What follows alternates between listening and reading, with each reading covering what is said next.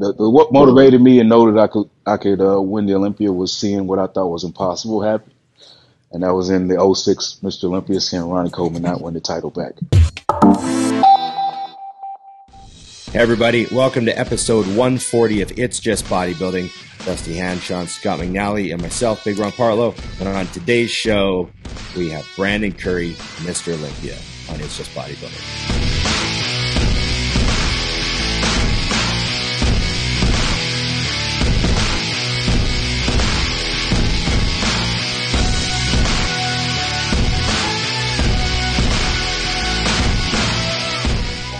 Brandon Curry, nope. two-time Arnold Classic champion and Mr. Olympia. Welcome to It's Just Bodybuilding. How you doing, man? I'm doing all right. Doing all right. Just just uh, realized that I uh, was going to set up for this, but uh, last time I set up, my, all my equipment has been moved. Oh no! And uh, so, so I was kind of like, I'm not normally in my normal setup, so I, I had to make do. So it's good. Well, it's you good. look great and sound great, so I think we're we're going to be okay. Um, okay, okay. Yeah. So so tell us where you are right now. Like you're you're at home right now, right?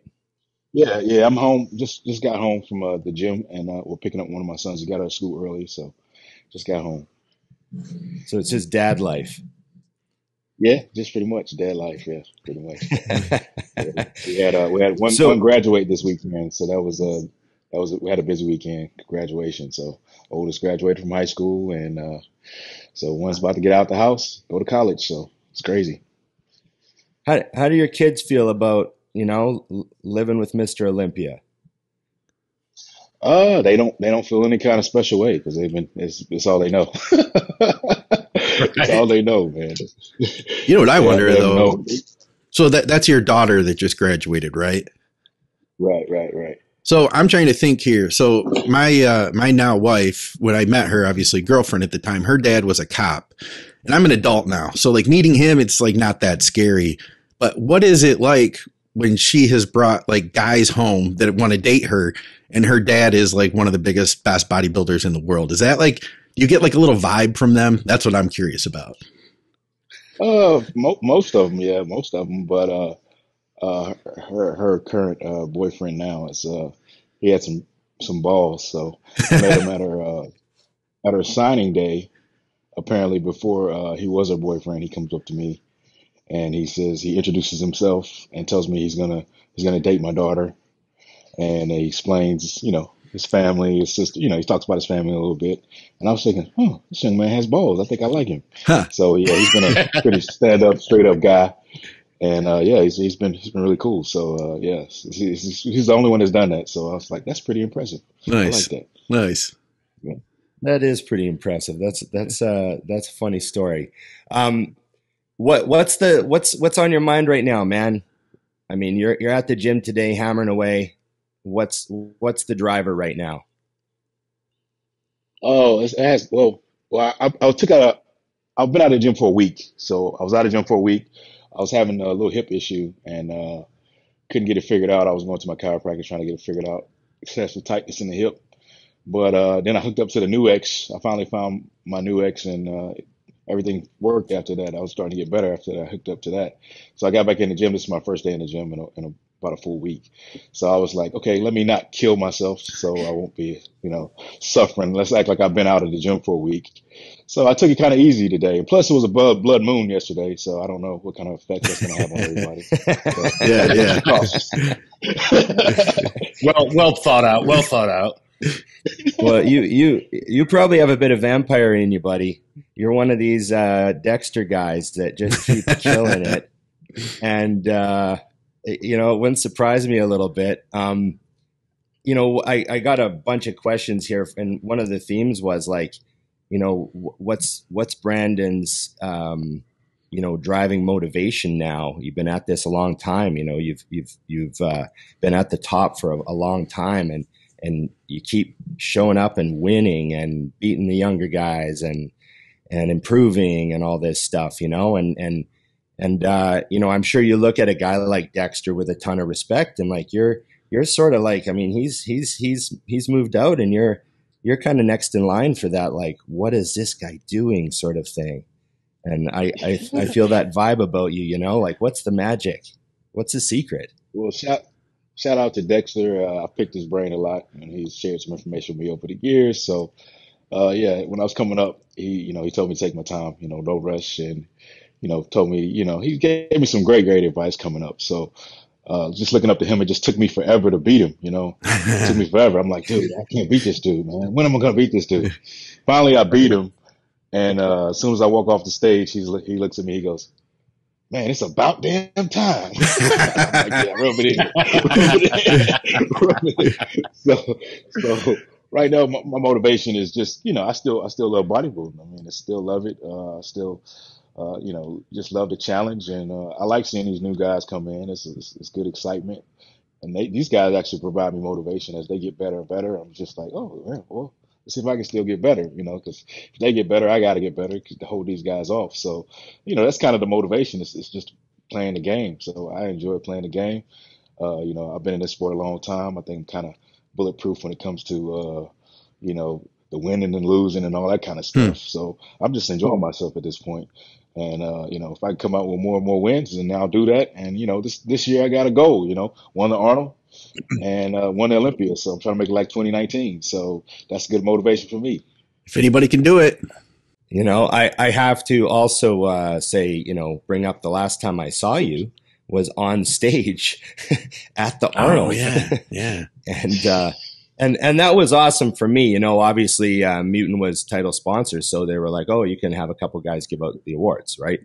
So uh, they just said, "Hey, do you want to go and give out an award?" And I was like, "Oh, well, sure."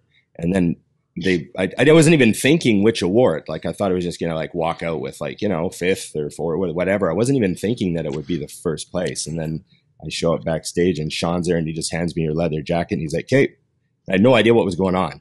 I was there for like a minute, and and then I, I wasn't thinking Arnold was going to come out at the same time, so it was like this funny moment. I've talked about it, but it was it was cool to see you, man, and you looked so happy. You know, what- you know, Oh, what was yeah, that yeah. moment like for you? Just winning another Arnold and and winning that Well- Arnold, you know, with that lineup. it, it was a relief because, uh, to be honest, I decided to do Arnold last minute. Hmm. And um, so last minute, I made a decision. Basically, when I announced the Olympia was going to be in December, uh, we were already getting, you know, having conversations with the committee. They were trying to see if they can get me to compete. But when they announced the Olympia would be in December, I was like, man, that's a long time. So, you know, maybe if we can work this out, I can go in and, and win this one and, you know, take a little break because I got some time and, and see if I can do the Olympia. So basically, we I went to Kuwait, you know, 10 week prep and we got it done. Wasn't ideal, but we got it done. And uh, so I was relieved. I was relieved I was able to do what I set out to do uh, under conditions that we had. So, you know, I was just happy about that, just grateful about it. Looking think about back the at that, You've got the um, you've got the gap now because that's usually the big hang up for the Arnold and the Olympia is a lot of people don't get it. That's a close gap. By the time you kick the crap out of yourself, do the Arnold, you almost have no time to recover before you're kind of in the mindset of making improvements and coming in for the Olympia. So that's that's. I'll be curious to see based on what everyone looks like at the Olympia, what they decide to do next year with that And look- And let me kind of add to that too and say you've done this before. So with what Dusty is saying, having done it before, what did you learn from that that you'll do differently now? Well, the first time I learned I need more time because uh, coming into uh, the Olympia prep, my body was just doing something different. It was doing something completely different. It, it didn't want to come down like I like I normally would. You know, I was doing a ton more cardio just to make myself come in shape, and the body just wanted to hold weight. So I realized that just transitioning out of one show to that next, it was just man, it was just it was suck for the Olympia. I mean, I never did like you know two hours of cardio just to get ready for a show, but man, that prep was rough. So, and I and I still didn't come in like the best conditioning ever, but I was big and full for sure. what do you think was your best look ever? If I go if I go with the opinions of most people, I think it was the 2019 Arnold. If they like the the condition, that full package. But if they like big mass, then it was the 2019 Olympia. Hmm. So uh, that was Which one you were two- like? the two seasons. I, you know, I like to be big and full. To be honest, this is this is fun. Mhm. It's just funner.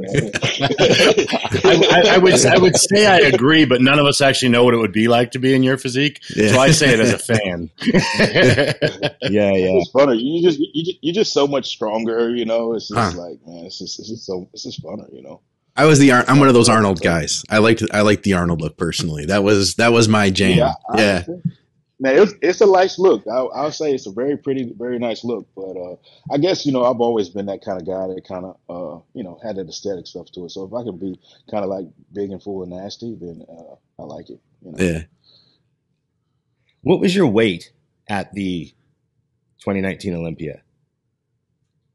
Okay, I'm gonna guess, but I was pretty heavy. I think I was, I think I was in the 250s. I think I was maybe 252 uh, at the most. I think. Hmm. So I was heavy. That's Okay. probably the heaviest I've been on stage.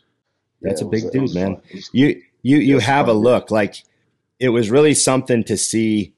Like I've seen the Arnold from the front row, you know, but walking out on stage and standing with you guys was awesome because the lights there are awesome. And uh, Oh, yeah, I they mean, did a just good job. just looked insane. I remember just laughing inside. I was Yeah. like, "Holy fuck!" Yeah, I was like, "That's you know, and I'll be honest. mo- I'll be honest. That that wasn't one. Of, that wasn't that wasn't one of my best preferred look at this Arnold, but it was enough to win.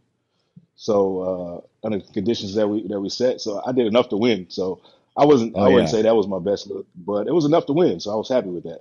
You know, I'm, I'm honest Right. with myself. But of course, this this Olympia, of course, you know, I gotta I gotta pull in more. So they're trying to get me down to Kuwait a lot earlier this year, so put more time in. Hmm. And, uh, and and go at it go at it a little bit longer, so I, I respect that, and I'm, I'm, I'll be ready for it. What's the usual time What- length that you're uh, in Kuwait? Oh man, well this COVID thing has been different, you know. Uh, okay, the Arnold was ten weeks. Uh, uh, the last Olympia was eleven, um, and before that, before COVID, uh, let's see, it was I was probably out there. I don't know, let me let me get a reference. Master, uh, call a friend. Hey babe, what's my normal prep for time in, in Kuwait? What would not be normal for me if I didn't have those other conditions? we're getting a Like cameo from the pandemic wife." or getting out, you know. Yeah, I was out there for five months in 2019. Oh, Oh wow. A long time. Yeah, yeah, yeah. I had one break. I had two week break, but I was I think it was five months. She said straight. So it just depends. Uh, it depends. I mean, my first preparation out there was 11 weeks when I when I broke out in that win when I won uh, New Zealand uh, and the uh, Arnold Australia. That was a that was a quick prep. We did a lot in that little bit of time, but it just depends, man. It depends on the conditions. Depends on when I'm going to get out there, when I'm able to get out there and settle in. You know, preferably we like to, you know, go out there put in more time because I kind of do everything all at once. Yeah. I'll be honest. I, I probably I, I don't do like uh, off season and uh, contest prep individually. I, I pretty much do it all at the same time. When you won, So- uh, uh, I was just going to add uh, when you had uh, won at the Arnold, I saw the video you did on it was like on Instagram, I think, and you thanked you know your coaches Abdullah and someone else. I wasn't familiar with who that other guy was, so I was just wondering how did how does like more than one coach work together uh, for you? That was Ahmed. Ahmed's been on my team for two preparations now. Okay, Uh, he uh, he's he's basically in the gym with me training, so Ah. he's he's pushed me through the workouts, designing the workouts, and uh, keeping up track with all my. He's my logbook and all that kind of stuff, so he keeps track with everything that I'm doing and makes the adjustments uh, each each and every workout. So yeah, he's a he's a, a big part of the team now because my coach. Uh, He's like, man, I'm getting too old to keep up with you because you know he used to train with me Yeah, and take a beat just just as much much of a beating as I did in the gym. So he's like, I can't do that anymore. that's funny. So so you're log booking you're you're log booking everything. Not me, but I don't think. Yeah, yeah, Ahmed's log. there- So somebody's recording everything. I th- I don't think a lot of people realize that you're doing that. I've never I've never heard that before. Um, what's the schedule like? You're over there. Like, are you training twice a day? Are you in the gym four times a day with cardio and all that stuff? Like, what's going on when you're you're when you're going to Kuwait and you're you're in camp? Yeah, I mean, uh, most most of the, most of the time, most of the preparation is twice a day. Uh, we go to an intense uh, intense two a day, and then as, as we get towards the end of the prep, we, we cut up the volume back, and we and we try start training one time a day as the body starts to come in. We don't want to stress it out coming in too much, but yeah, it's pretty much twice a day plus cardio. We start with morning cardio, of course, and uh, at some point we may add a second session in, so that, that puts us in four times a day. But we're typically we're, we're training every body part in the beginning twice a week. Uh, you know, they're really trying to push the recovery. Once the recovery is good, uh, it's like, whew, I'm, I'm relieved because once I'm not sore all the time, it just feels good. But uh, yeah, it's, it's it's brutal. As soon as I get there, we hit the ground running. Nice. Man, do you ever put up like day one at camp photos with your contest prep photos? Show people what you look like when you show up at camp? Because I know No, you stay in crazy shape all the time. But Nah, it would nah, just nah. be They interesting. laugh at me. They, they laugh at me when I get to camp. When I- yeah, they laugh at me. They say I come I come in there I come in there and they say, "Man, you look like a regular person." I say, "Yeah, thank you." Thank you. They have a very I'm- skewed I'm- I'm version of what regular is. yeah, yeah. I'm just like I'm just This like is- you come you come to, you come you come to the prep looking like me. That's what oh, that's what drives you. They just they just they just talk down to you like that. It's so brutal. and then and then and then and then uh, even even some of the workers, like some of the employees, I come friends with some of the guys, you know, clean the gym and uh, you know, they, they wipe the equipment and put up the weights and stuff. And I get there, they look at me, and I just see them looking at me, and they don't say nothing, but I see them looking at me. I said, guys, just give me three weeks, everything will look different.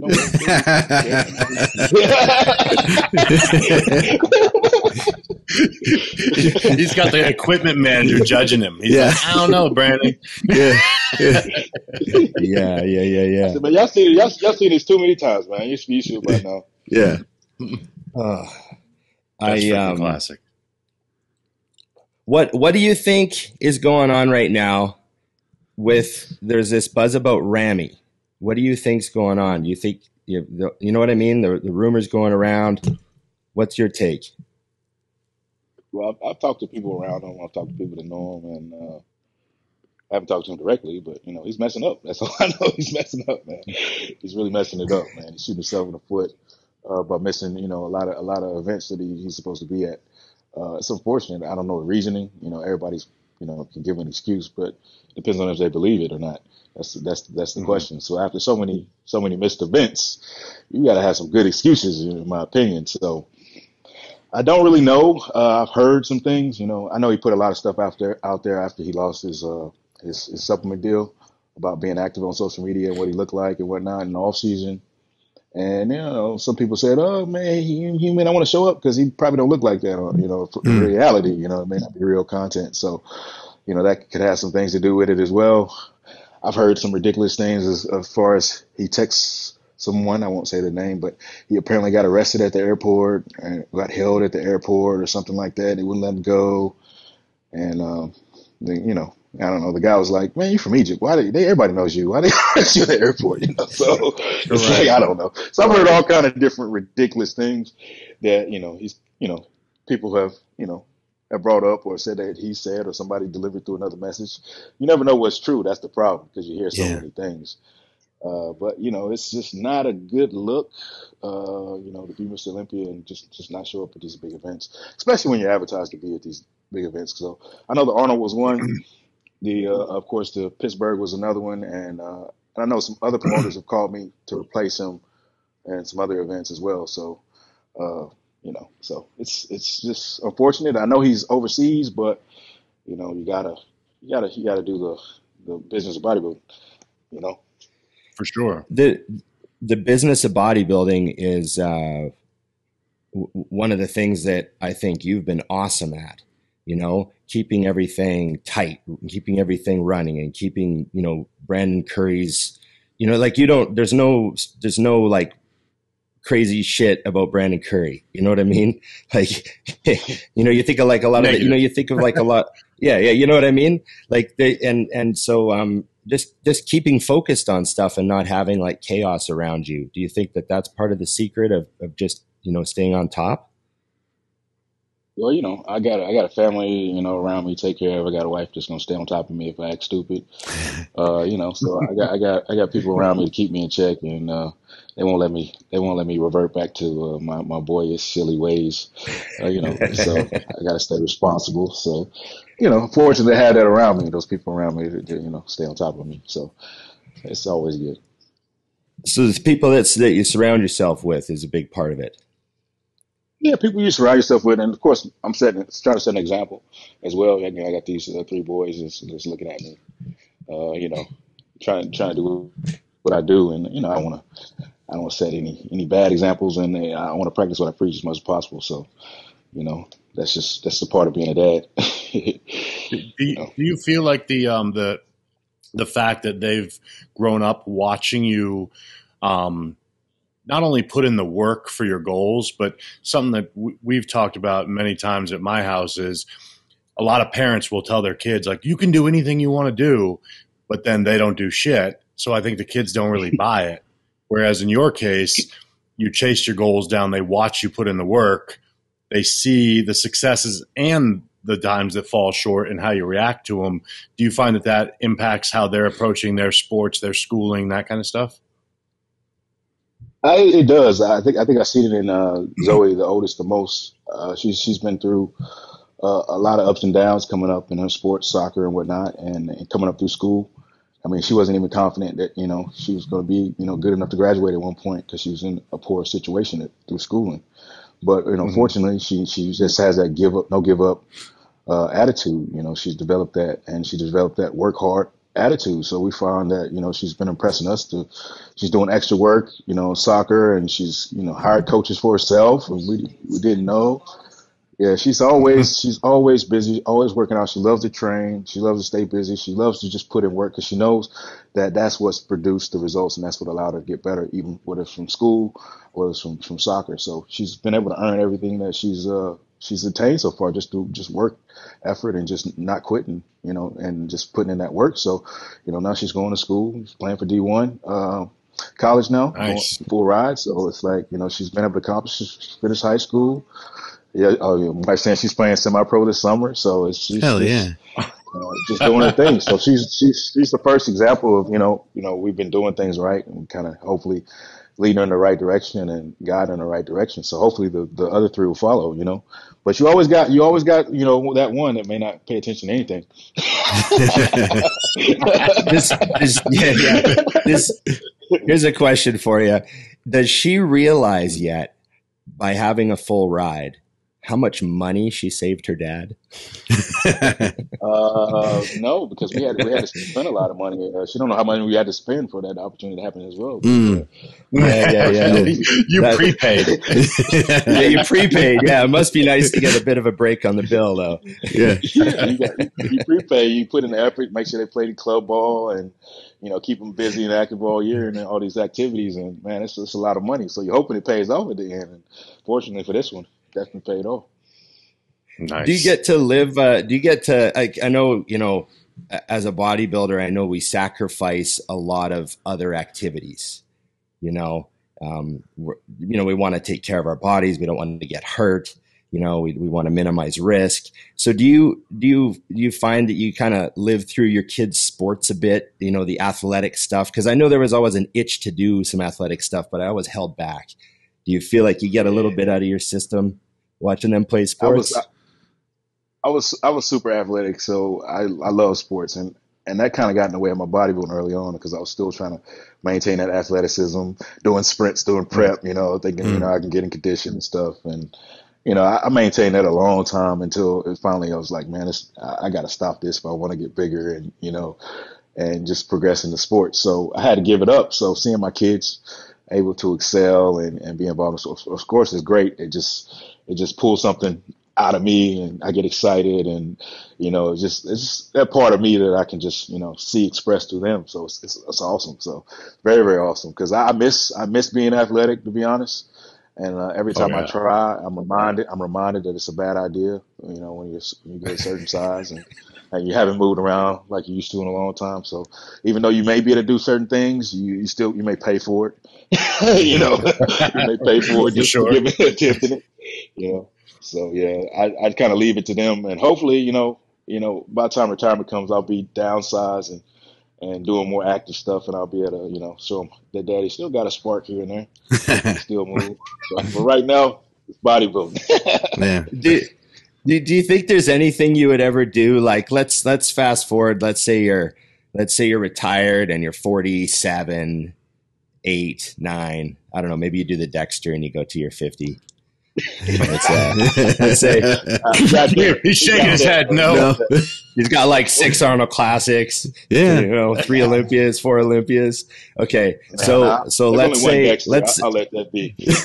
okay okay let's let's say you're 40 48 years old you wake up tomorrow you're 180 pounds and you feel great and you got one day.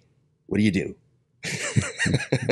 One day, do you go play a game yeah do you go do you, do you go like yeah what do you do? Do you go like do you, do you go play a game of football? Do you go like what do you what would you want to do? Just go run track? What would you want to do yeah, I- I'd say I'd, I'd say I probably I probably wake up in the morning and you know go to the track and you know get some sprints done, run maybe run some stadiums or something like that. You know, get the heart rate up a little bit. You know, feeling feeling energetic, especially if I have some partners to do it with. You know, kind of give me some encouragement, a little competition. You know, that's something I would do. I, I'll probably avoid the contact stuff. You know, I, I've, I've I've knocked this noodle a little bit too much over the years. Oh, okay. So I- you're I- you're you're imagining that my scenario, my, my fictional scenario carries the head damage through. okay. We could have left that in the past. Yeah, yeah. Okay. Okay. Yeah, yeah. Um, it was so you you played some football then. Oh yeah, I played and I played the wrong way, so I'm glad I got out when I did. Even though I didn't want to quit, but uh, you know I got out at a good time because I would have I would have continued to play the wrong way. And we got some we got some people we know that you know you know have to get CT scans and stuff done all the Oh, time, and you know their their heads are not quite right from being in the NFL. So uh, you know, but they teach the they teach the, the kids better these days than they taught us in our generation. So they play a lot a lot you- safer, a lot better. Are you kind of talking about like I kind of feel the same? Like I played high school ball in the early '90s, and I feel like we just used our helmets way more. Like Yeah, we it was it taking was helmet through everybody the ear hole. our heads. Oh yeah, ear Helmet hole and ear hole. everybody, and yeah, and like putting the top of the helmet under the face mask, and just helmet to helmet on every hit. Yeah, it was crazy times, man. It was just gladiators, you know.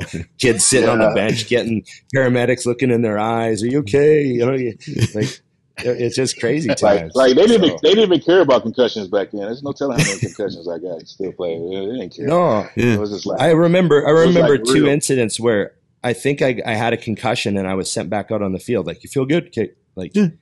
Walk know? it off. Walk it off. So, I see Yeah, no blood. walk it it was, it was it was real gladiator mentality. It was like uh, you you know when you're playing a game, it was some sportsmanship, but it was like I'm going to take this guy out. I'm going to take this guy out, and then we won't have no problems. oh yeah, I remember those days. Going, uh, watching the program numbers. in the movie theater. You know, one of the best football movies ever. Well, you mentioned Oh, the gladiator thing. Um, you know, you, you you must feel like that carried through into what you've had to do. That mentality, the gladiator mentality. I mean, I we, we all associate with it. We all understand that prepping for a show, putting it all on the line, feeling. What uh, uh, you know, how much has that been a, a part of you know your sort of like you draw on that? Like, how much do you draw on that sort of stuff? Can you think of a time recently when you've had to really pull it, you know, really make yourself fucking toughen up? Well, it's, it's always it's always like uh, I say leveling up to the challenge. You know, as uh, you know, I don't I don't mind to fail, but damn if I if I quit before I fail. You know, you know, it's that it's that kind of mentality uh, that I that I developed, and uh, you know, just being a sportsman, uh, you know, all, all through my life. So it's always, you know, just you know, the last thing I wanted to do was give up. Uh, so being able to push through and no matter what, and being able to take your knocks and get back up and do it again. Uh, that's just uh, just just a part of the mentality that I think uh, you know being a sportsman it kind of develops in you, you know, because you can't always win. You recognize that you can't always win, but you want to always win. So it's just that that's what drives you. So you know you, we know that we can't always win, but you know that if you keep working and if you get the right conditions, you you know you're gonna win. So you get you kind of get that mm-hmm. thirst for it, you know, you thirst for winning. So it, the thirst for winning kind of kind of blinds you to, you know, how much you how much you got to lose in order to win again. So that's kind of like what I developed that tough skin, that mental toughness when it comes to that, because it's like people can talk all kind of junk, all kind of trash. I'm used to that. I'm used to that. We talk trash, we talk junk all day. But you know, unfortunately, I couldn't knock you in the mouth for doing it on, on, like I did on the football field. But in bodybuilding, I could just you know internalize it, go in the gym, and and so y'all, hey, look at me. What else you got to say? right, right. You know, I took I took You know, your so- money. yeah, exactly. You know, I'm coming in. Yeah, I'm coming in to take your lunch money. You know, you, or, or, or oh, I'm sorry, I'm sorry, your favorite bodybuilder didn't win. Oh, sorry, sorry. Yeah, yeah, sorry, yeah. not sorry. You know that kind of thing. You know, but you know that's just uh, what do we call it the dog. We call it in football. We call it the dog in you. So yeah, that, that dog in me has been able to help me handle this sport of bodybuilding because I think some people, you know, they just take it they take it too personal, like, uh, Hmm. and they kind of fold when they don't, uh, you know, things don't go their way. And things ain't been going my way my whole life, so I just had to make a way. Yeah, yeah. I got a question Man. for you. When when was it that you truly realized that you could win the Olympia or the Arnold? Like before it happened? Because I remember. I mean, obviously, I've been following you forever, and I can't even remember the placing now. But I remember your breakthrough Olympia when you were in the top ten, and I remember thinking like, "Oh, here he is!" Like, I think everyone was kind of waiting for you, and I, I want to say you were eighth, ninth, something in there. And I remember that show. You were kind of one of the highlights of the show. Was that when you realized you could really, really do this, or was it before that or after? It, was- it was before. It was way before. It's something I couldn't. T- I couldn't tell nobody. It was more of a. Uh, it's more of an intuitive, uh, kind of kind of experience for me. Uh, hmm the, the, what motivated me and know that I could I could uh, win the Olympia was seeing what I thought was impossible happen, and that was in the 06 Mr. Olympia, seeing Ronnie Coleman not win the title back. Hmm. I happen I, happened to be uh, be they be there to see that uh, by by pure pure chance. Uh, I didn't have a ticket. Uh, I, was, I was at the show with some models that were doing the Road for the Pros model contest. We had the same manager, and Flex Wheeler was supposed to put me on the list. Uh, apparently, who knows if Flex Wheeler put it on put me on the list or not? It didn't matter. But uh, when we all showed up together, they we walked in. They said we all looked the part. They let us go upstairs to the. We used to have a Weider booth at the top, so we went up there. Free Mhm. drinks, free food. Nice. Ronnie came out to his posing routine. I was like, okay. Came out as the bodybuilding Ten Commandments Moses, you know, dressed up, and I was like, okay, he's about to win. He's about to break this record. I can't believe I'm here to see this. And then they announced Jay as the winner after after the routines, and I was just like, the whole crowd went nuts. Hmm. But for me, Yeah. it was like dead silence and tunnel vision. And I was like, you know, this is what I'm supposed to do. I'm gonna be on that stage. Let's let's go after it. So I went from that point, making bodybuilding uh, a hobby. Didn't think I was gonna be a pro bodybuilder at that time.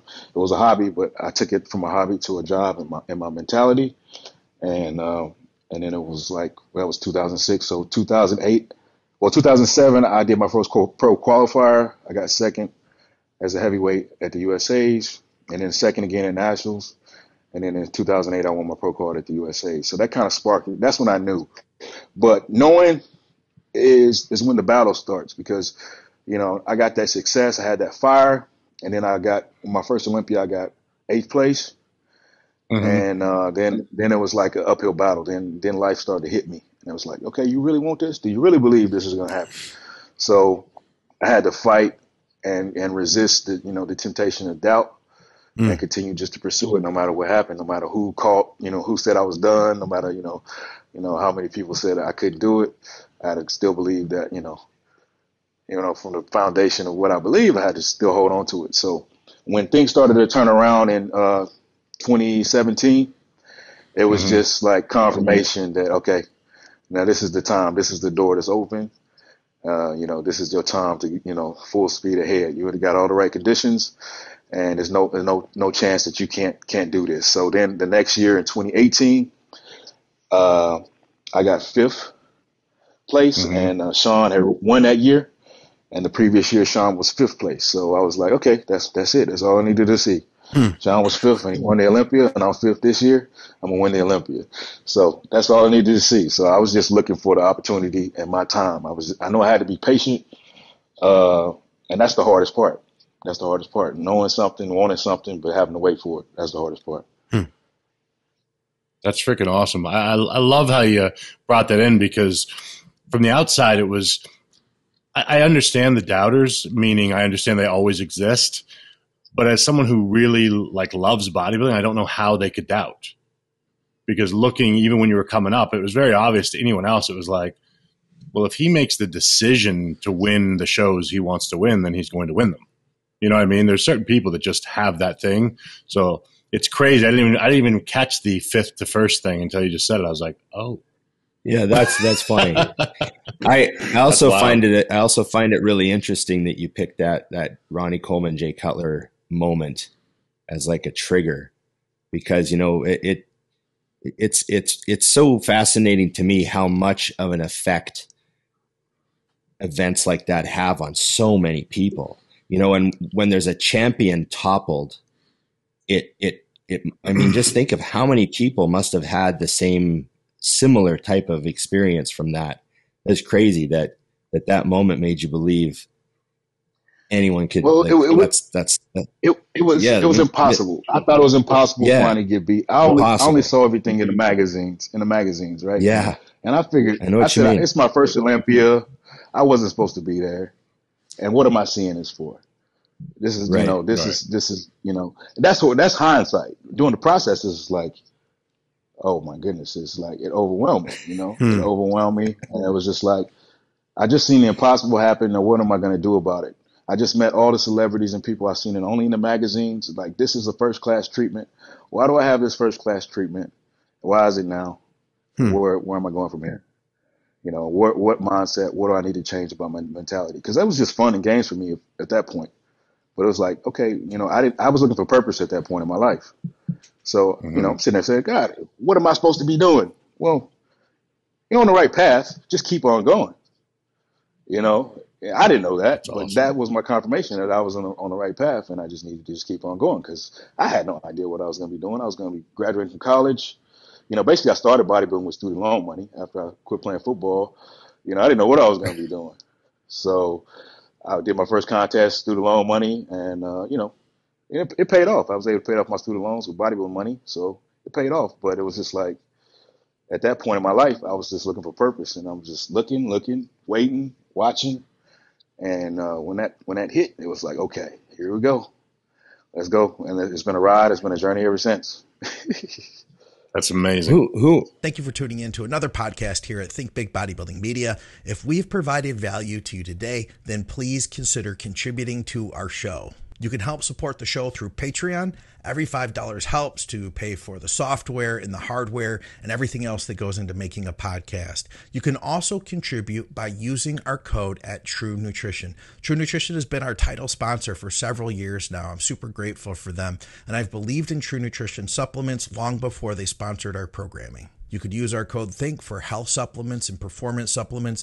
Feel free to hit me up if you have any questions. And if you're in Canada, check out supplementsource.ca. They have free shipping over $99, huge discounts on overstocked, short dated, and label change products. Plus, they have all your normal supplements too. Thank you guys for listening to the commercial. I hope you're having a great day and that your bodybuilding is going well. Let's get back to the show.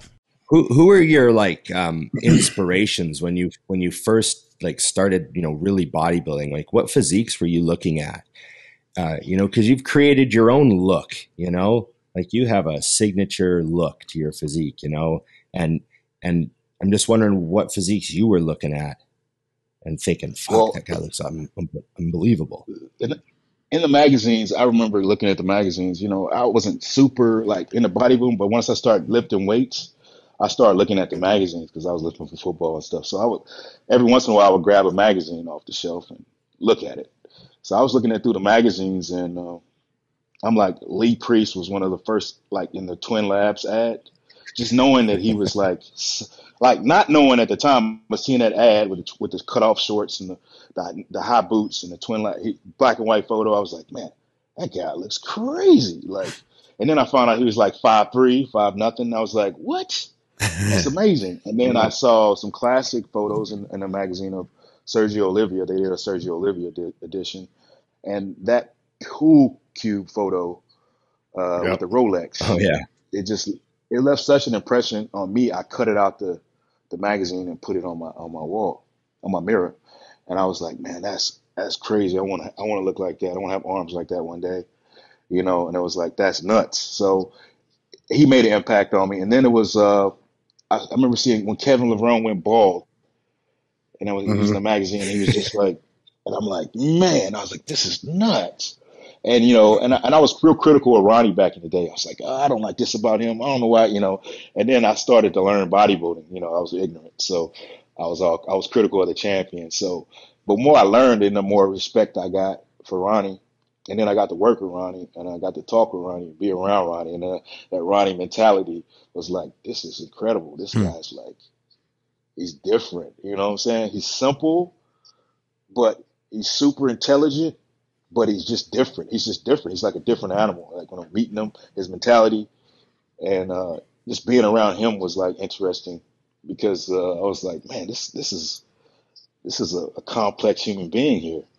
You know, we typically think of bodybuilders. We got this, you know, they always, you know, put this meathead mentality. But Ronnie, even though he's just such an awesome character, he's a very complex person. And he's almost like simple to a fault in some ways. I think he simplifies himself in some ways just so he can do like these incredible things. It's like those those those quotes. Those are just simple quotes. Uh, nothing but a Mhm. peanut. That's a simple country quote, but it's like it helped him. Like the mentality of thinking like that is just it helped him accomplish so much. If he could just put it, oh, it's nothing but a peanut. You know, what's a peanut? It's, Yeah. it's a peanut. And if you can transfer that mentality into into the gym, you know, just as simple as that is, it could do things for you. You know what I'm saying? So it's just just watching guys like that, and then Dexter. When I met Dexter, uh, Dexter was like he was a rival before he was a, a rival. Because when I first met him, I was I wasn't even a bodybuilder yet. He was at a show I was at.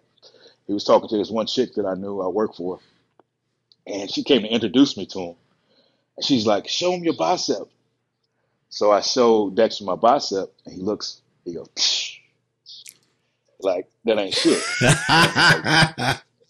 I'm like, That's a good impression. That's a good impression I'm of like- Dexter. I'm like, I'm like, I'm like, what? I'm like, what? I'm like, this dude.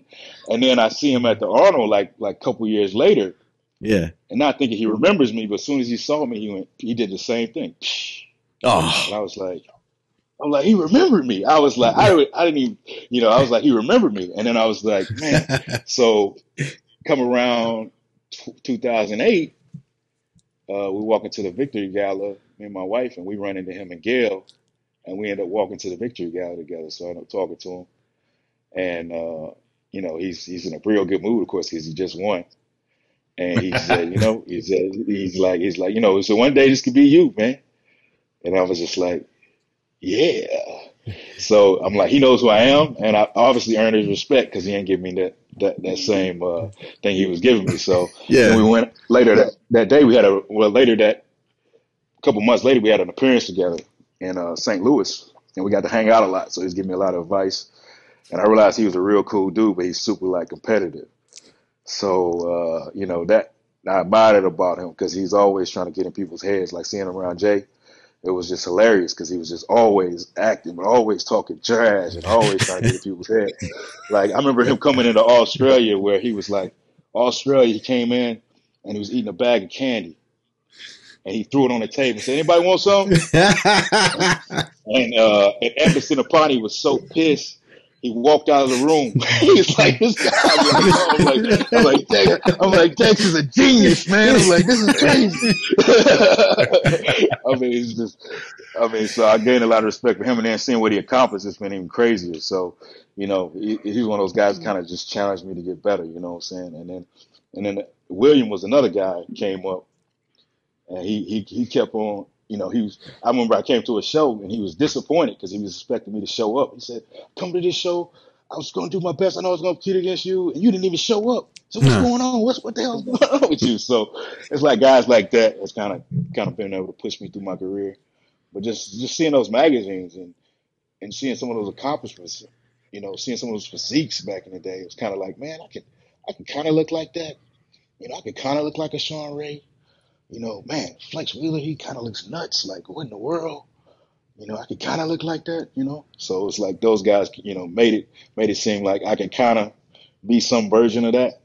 But uh, of course, I, I I didn't want to be like anybody. I just wanted to be myself. You know, make my own way. Man, so what do you th- what do you think of that? Do you, do you ever stop and uh, think that there's a you know a kid out there? How old were you when when you had you know that uh, photo of Sergio on your mirror? Fifteen. I was probably I was probably 18? like I don't. I was probably like 17, 17 years old or something like that. Yeah. So how, what, what do you think? You know, the concept that your your photos on, you know, somebody's locker, somebody's fridge. I used to. I had a, I had a picture of of them. Ronnie on my fridge. you know, I had a picture of Dorian on my that? fridge one year. You know, I, You, know, hear I that don't know. sometimes. That's sometimes, sometimes you hear that. Sometimes you get guys that come and they tell you different things like that, and it's like, it's like, whoa. It's like, really? It's like this is, you know, it kind of just sets you back. Hmm. Uh, you know, some guys tell you they started bodybuilding because of you, Hmm. or when somebody says they lost sixty pounds because of you, it's like, man, I'm just glad people pay enough attention to be motivated by something I do. you know, it's, it's it's humbling, but it's it's cool at the same time because you know we need that. You know, we need to we emulate as human beings. You know, we emulate. That's just what we do. Mhm. So we have to find something positive to emulate. Otherwise, we're gonna emulate something negative Hmm. subconsciously. So. Uh, just finding something positive to emulate is, is always something that you want to do. I mean, just I think of Lee Haney, like when, the way he carried himself, and it's like, man, I'm like, that's something I want to emulate. You know, Mhm. he set that standard. You know, Jay Cutler, man, that's something I want to emulate. You know, it's like so. You know, you can't be just like somebody, but you can you can emulate some of the things that you admire about people. What do you think? Uh, uh, like, how do you manage your your social media interaction with fans? Like, I know you're on Instagram, you reply like we're talking, but I mean, y- y- you you must get clobbered. So, like, do you do you have like any strategy for how you run your social, or do you have help doing it? Like, what what do you, you know, what do you do? I uh, I take my time and uh, I try to answer everybody that I think is sincere. Hmm. Honestly, uh, I take my time with it. I try to answer everybody sincere. If they got a sincere uh, question or you know comment, I try to stay active because I realize these you never know who these people are and you know what situations that they're in. Uh, so you know, I just kind of take my time as a part of my giving back. Uh, but when it comes to like uh, handling negativity, I, I'm entertained because uh, you know, you, you know, you know, it should be the people that you know that can that can hurt you the most, not the people that you have no clue who they are. You know what I'm Hmm. saying? So that's how I look at it. I'm like, you, you, you think you can, you think you really can come on here and disrupt my day? Well, you really just you just entertaining me, you know, to be honest. So, uh, and I'm, I'm always curious about like what's going on in these people's lives to where they have to, you know, you know, find things on social media to be negative and criticize about. I mean, I kind of feel sorry for them at some points, but you know, I just like to, you know, I like to make sure I give people my time when I can. Of course, I don't want to be on social media all day, Yeah. but you know, if anybody messages me, you know, and they, you know, legitimate, I'll get back to them. You know, uh, I don't have no problem with that. I don't, I don't, you know, I'm a, I'm a human too, right? And I, I was that guy one day, but of course, there was no social media. So if I ever wrote somebody, Yeah. you know, I would hope that they would respond back back to me, right? You know. No doubt. Um, w- w- if if I were if I were to like if you were to look through my Instagram, you'd see I follow like a bunch of shark accounts and a bunch of BMX stuff and a bunch of Uh. science and na- National Geographic and cool houses and stuff. What would I see on your Instagram? Man, you see so much stuff. Uh, you see dogs. Other than of all. You probably bodybuilding. You probably see some dog stuff, you know. Uh, Dogs, lots of Uh, dogs. Yep. sharks, ocean Yeah. stuff. Uh, you know, the, anything science, uh, anything you know, the sun. Uh, the other thing dealing was solar weather. Anything dealing with. Uh, let me think. Yeah, shit, I got to need to scroll through my social media. Anything dealing with uh, anything educational, uh, archaeological, Okay. ancient stuff. Uh, you know, let me think. Are you following all the exotic cars and stuff? Are you into that stuff? Are you like cars and shit? Nah, nah, nah. Nah, I like cars, but uh, you know, you know, I'm not, I'm not a, like a supercar enthusiast. I got too many kids to think about how how, how make nice cars. Maybe before I retire, I'll be shopping on what, what cars to buy. When I'm, Right. you know, but for me, for me, it's more, it's more nature. It's more, uh, you know, it's more like interesting people, funny people. Uh, and sometimes I follow count, accounts that I think are weird because I just I just want to see like how weird are they really, you know? Right. Like people are like, why are you why are you following that? I'm like, well, this is weird. I just want to see how weird it is. Like, is this real life? You know? Is this really real Like life? vegan cats. I'm like, like there's this, there's this, uh, there's this uh, animatronic, like I don't know, fake human account, right? And I'm thinking, Mhm. okay, what's up with this fake? What's this with this fake human account? Like, what are they trying to do with this? What what are they trying to project? Like, what is this? What's the point? Yeah. So I'm just curious. I'm a curious person, so I'll just follow stuff because I'm just curious, you know, and I'm just trying to see, okay, where are they going with this? You know, what is what's the point? Yeah, and of course, food. You know, you follow food stuff too. You know, always. Of course. Right, right. and Especially if you're prep. and if you're and if you're Scott, you follow all the gun, all the guns, Absolutely. all the guns. Oh, the yeah, competitive yeah, yeah. shooting, Oh, all that. stuff. Oh, I, well, I like the I like the animal stuff where you know you got the brutal, the brutal, the nature's metal kind of stuff. That kind of stuff. Oh, Nature's oh, yeah. Oh, metal yeah. is, is Yeah, you know that kind of that kind of stuff is always cool to see too. You know, that just I, that's, that's like that's that that's that's that's a crazy page because sometimes I think that it's actually good to remind yourself that nature is metal.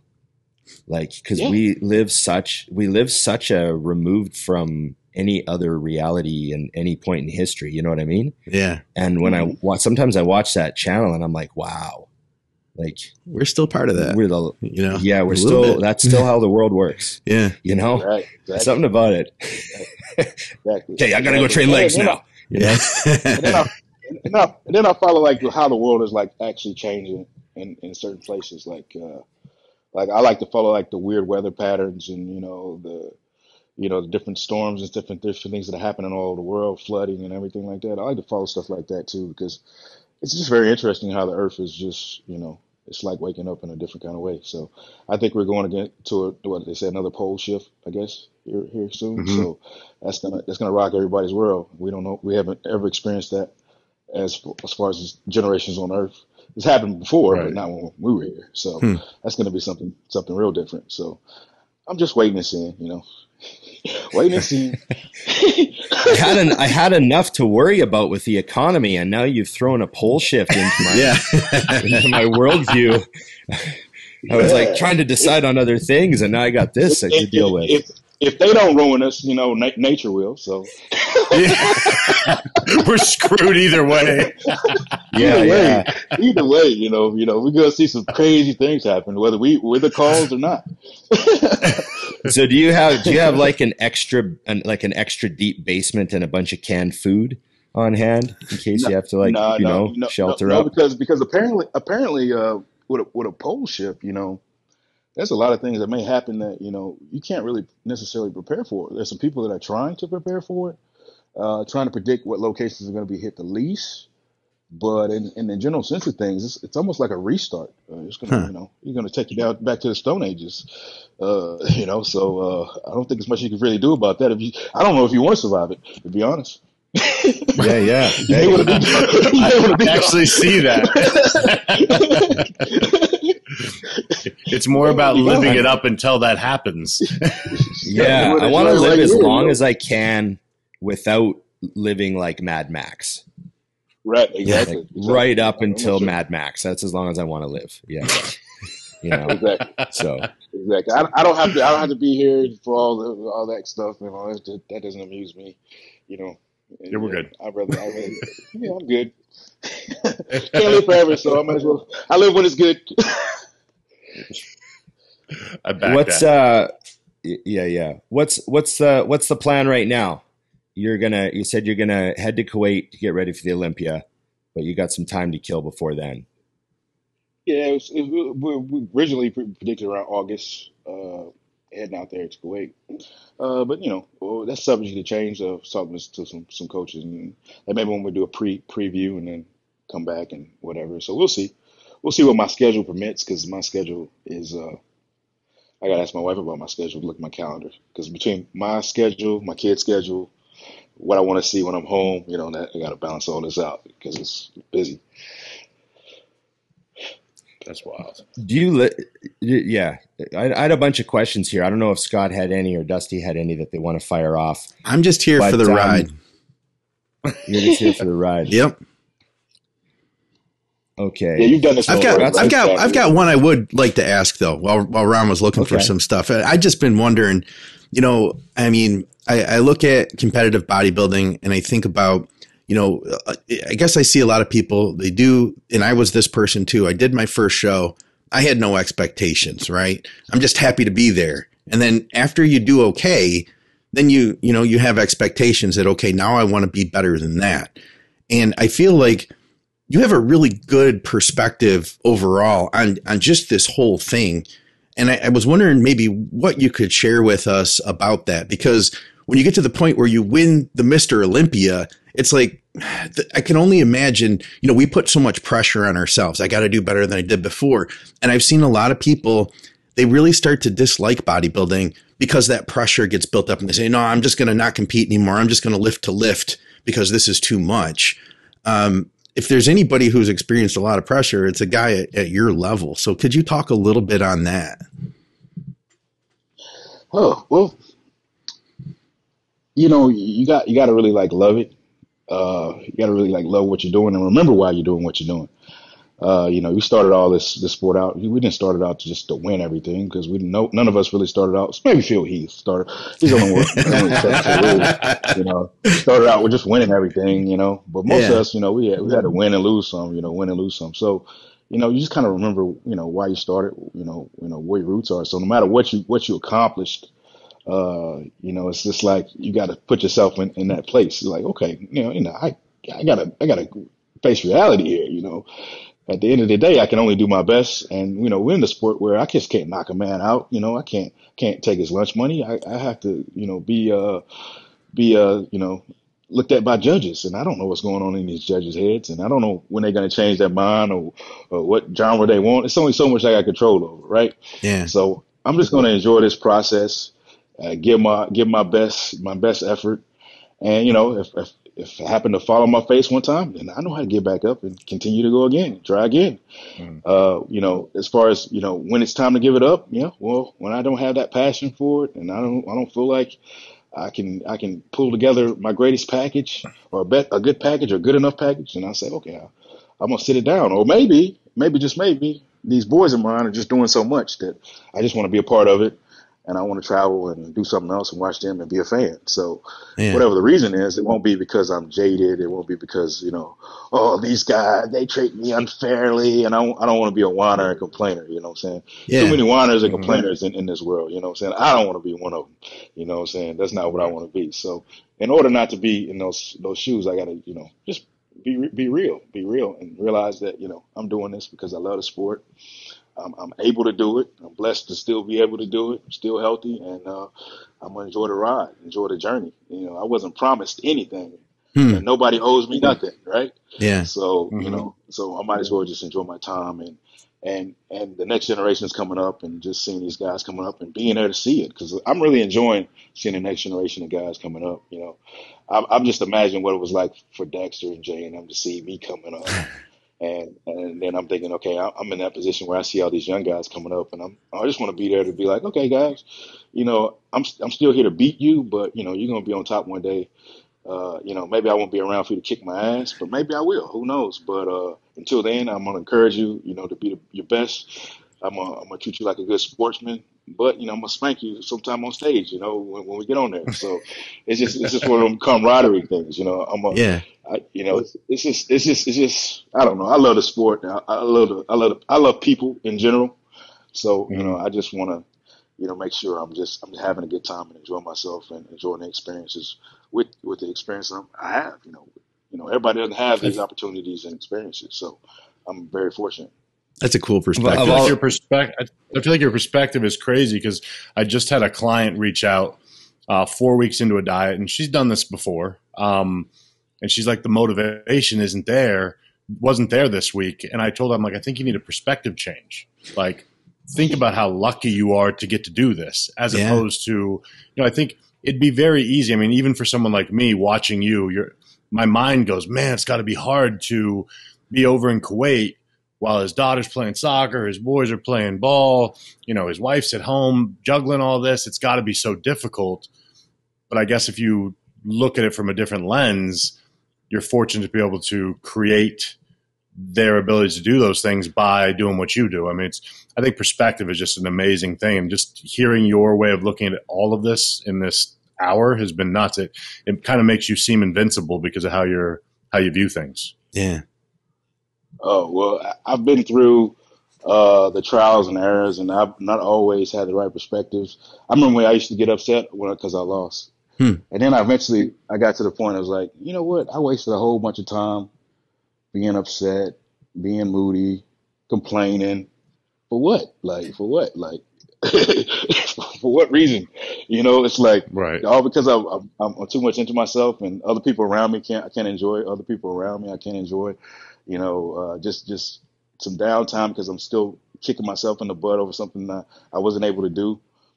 And then I realized, you know, if it's not for me, it's not for me. You know, if it's for me, it's for me. You know, and Mhm. and I realized I don't want I don't want something that's not for me. I really don't because it's gonna that's gonna come with problems. It's gonna come with things that I don't want to come with. So you know, if it's for me, Mhm. if it's for me to, to have this, I, I'm I'll take it.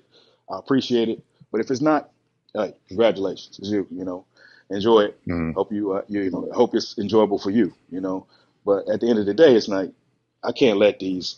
I mean, ups and downs are part of life. You know, you just can't sit there and just beat yourself up because this is it's really a waste of time. You just you waste your, you put yourself in a space to where you're not even enjoy, enjoying life or enjoying the people around you, and it's just like why be there? You know, why be there? You don't have to. It's a choice, right?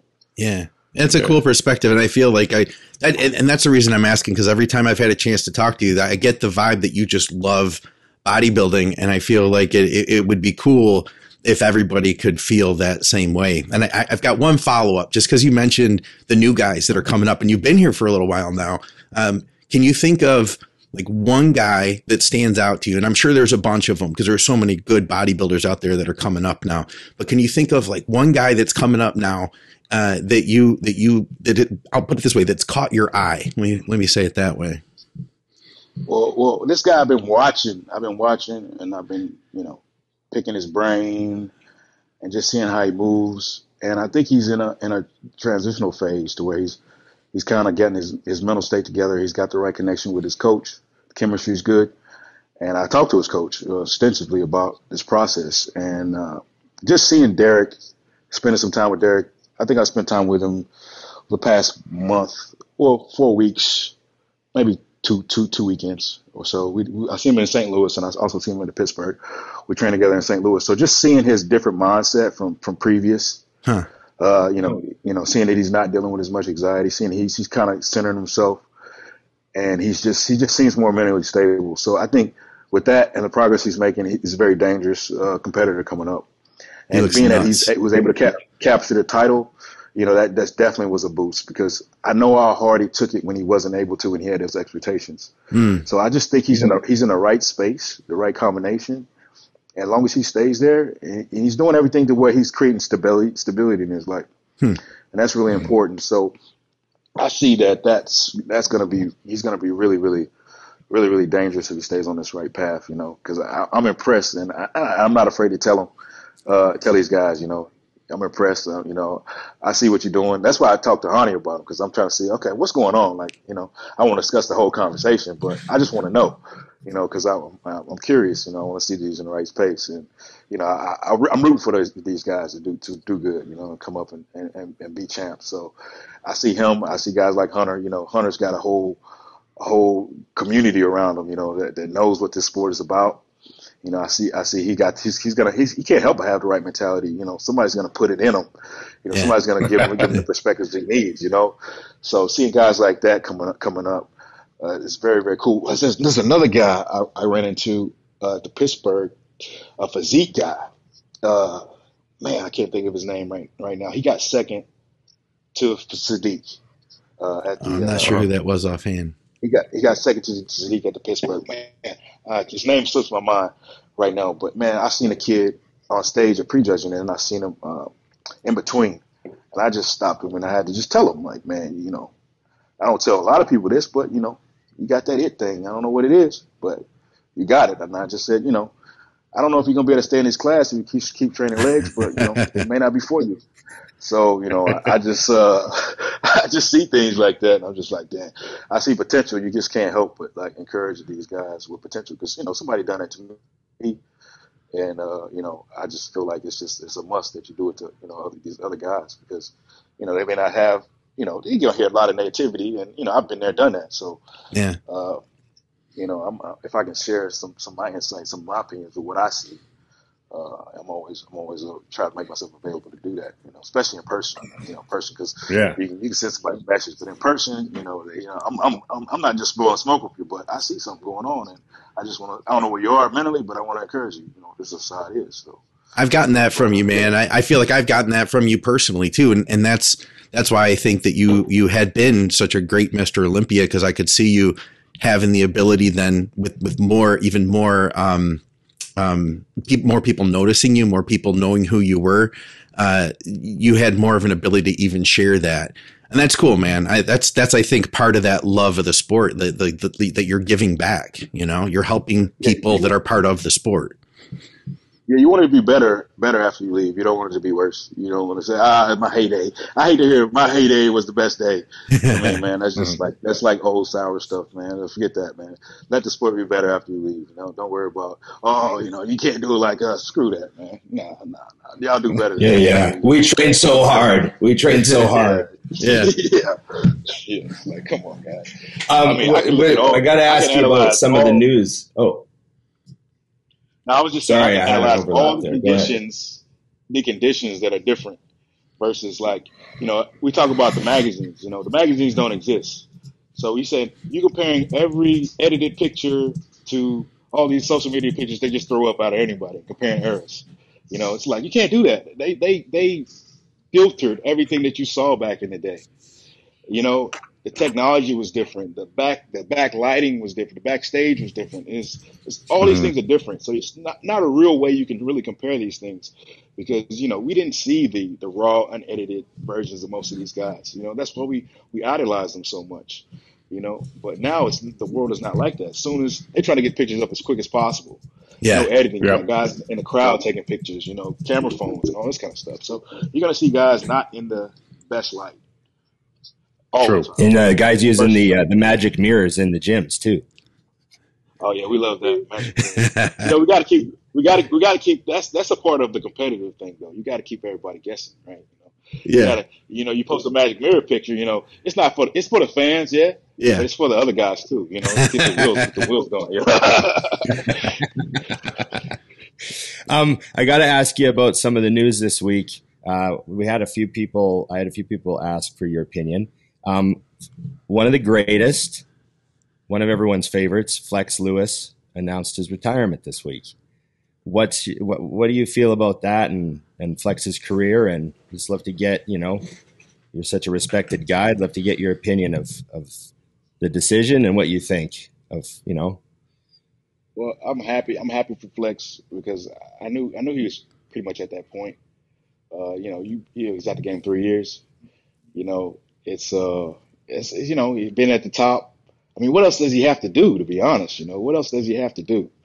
And he's influenced so many athletes uh, coming up that you can you can literally see his influence in other athletes. I don't know if you watched uh, uh, Rafael Brandao, right?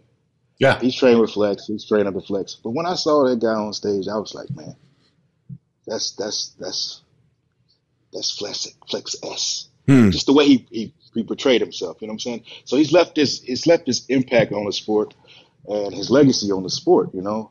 And at, at that point, it's like, what else does he have left to do? You know, he's got a new son now. I'm so happy for him that he, he was able to have a son. Because, you know, we all want sons, right?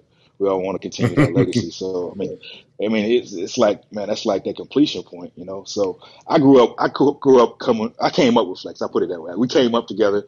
We were na- kind of like neighbors at one point, Yeah. and uh, you know, we had a lot of camaraderie. You know, we was in the same gym at one point, and we were always like always competitive with each other. I, you know, we we would race on occasions, and uh, you know, just do just do stupid kid stuff when we were younger. You know, just because we're just so competitive. So I look up to him and his drive, and what he's able to do as an ambassador for the sport.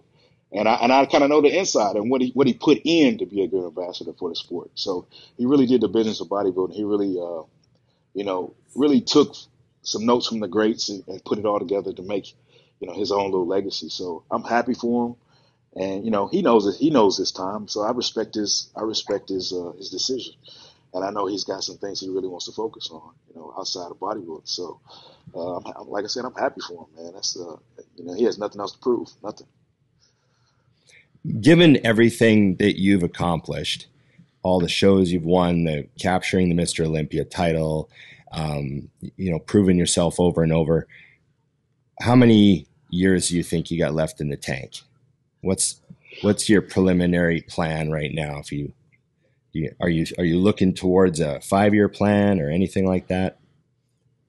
It's it, it's coming it's coming it's coming coming soon. I guess I can I can kind of sense that is, is coming soon. I'm at that point in my career. I don't know exactly the time. I don't want to put a put a stamp on it. I hate to be the guy to say I'm done and come back. Uh, but uh, you know, I feel uh, it's, it's it's it's it's it's approaching, and uh, I, am in a I'm I'm getting in a, a, pretty good spot to hopefully be able to to walk away uh, gracefully from the sport uh, without you know with everything intact.